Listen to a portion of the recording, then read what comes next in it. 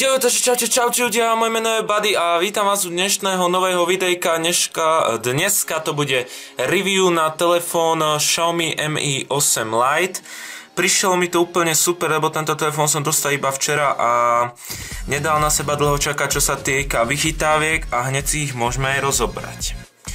Takže v prvom rade uh, môžeme si všimnúť, že tento telefón po zapnutí už má mostík, to už je vlastne teraz, uh, tu už by som povedal taká než vymoženosť, ale už taká samozrejmosť pri týchto drahších telefónov mostík. Trošku, čo sa čuduje, mohli dať uh, odačo menšie uh, rámčeky, čo si tu zober, keď si tu zoberiete, tu mohli ísť odačo menšie, takže mohli dať to mi trošku tak e, nie že vadilo, ale tak mohli to zmeniť. E, ale ináč celkom super. E, foťák predný má rozlišenie 24 megapixelov, Uro robí úplne krásne fotky. Toto je vlastne ešte, aby som lepšie povedal, Xiaomi Mi 8 Lite 64 GB verzia. Máte ešte 16, 32 a 128 GB verziu. Má to sebe Android 8.1 Oreo, chipset Qualcomm Snapdragon 660, procesor 8 jadrový 2,2 GHz, takže úplne super, podporuje to 4G LTE, display má veľkosť 626 palcov, podporuje Full HD na 60 fps. RAM telefónu je 4 GB, takže podľa mňa už postačuje aj na hranie toho Fortniteu, ak niekto na mobile, čo pochybujem len, že by som Fortnite na mobile nezapol. Potom uh, zadný fotoaparát má rozlíšenie 12 plus 5 MPX plus uh, vlastne tu je otlačok prstov, ako vidíme.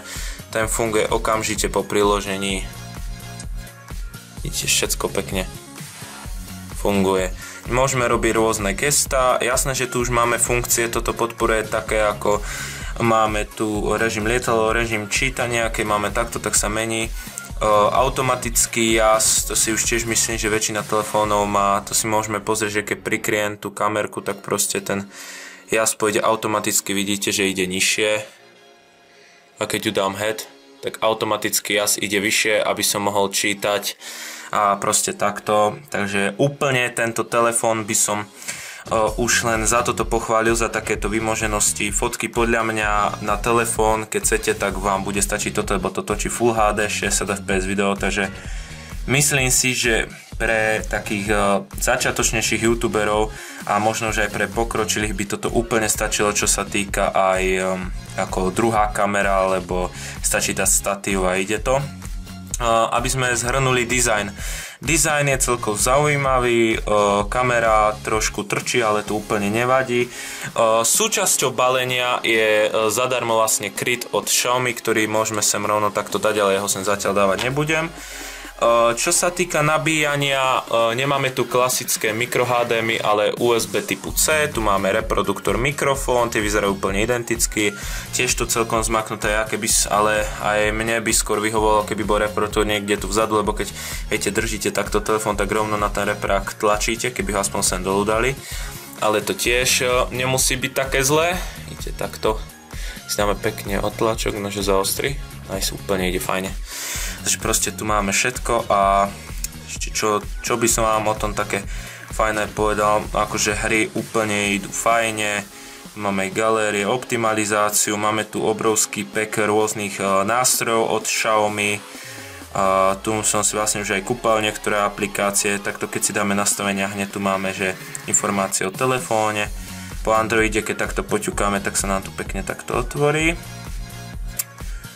a tu máme rôzne veci od neho. Takto keď dáme môžeme meniť veci. Takže úplne telefónik ako lusk. Cena kto by sa pýtal tohto telefónu sa pohybuje kolo tých 180 eur, aspoň čo som ja kúpal, takže už sa dá celkom taký podľa mňa dostupnejší pre širokú verejnosť telefón a podľa mňa Xiaomi s takýmito telefónmi si môžem dovoliť, že môže konkurovať už aj vážnejším značkám ako je Huawei, iPhone a Samsung a v cenovej kategórie akože podľa mňa toto veľmi dobrá voľba.